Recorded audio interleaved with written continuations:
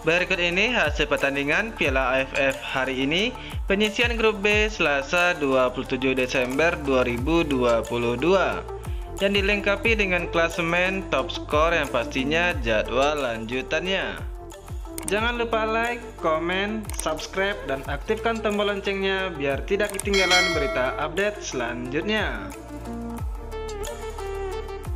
Berikut ini hasil Piala AFF hari ini, penyisian grup B Selasa 27 Desember 2022.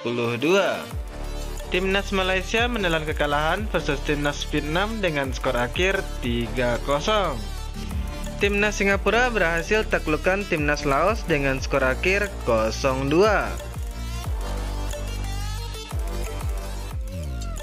Klasemen sementara Piala AFF 2022 Penyisian grup A dipimpin oleh Thailand 6 poin dari 2 pertandingan, di posisi kedua Indonesia 6 poin dari 2 pertandingan. Untuk klasemen grup B dipimpin oleh Vietnam 6 poin dari 2 pertandingan, di posisi kedua Malaysia 6 poin dari 3 pertandingan. Untuk jadwal selanjutnya Piala AFF 2022 Timnas Indonesia versus Thailand pada tanggal 29 Desember 2022 yang disiarkan langsung oleh Innews TV dan live streaming RCTI pukul setengah lima sore waktu Indonesia bagian Barat.